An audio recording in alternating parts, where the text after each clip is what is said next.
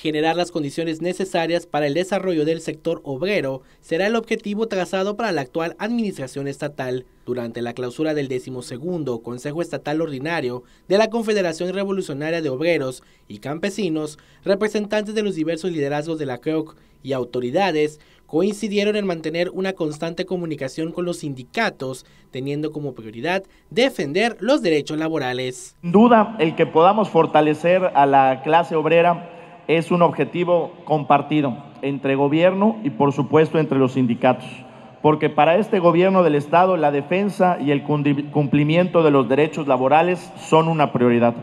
Tenemos claro que a nosotros nos corresponde generar un contexto favorable para la creación de más y mejores fuentes de empleo. En el marco de la reunión, el representante sindical coincidió con el mandatario estatal y se comprometió a velar por el interés de sus agremiados. De cada una de las mujeres y de los hombres que forman parte de nuestras filas sindicales. Gracias por su apoyo, compañeras y compañeros trabajadores.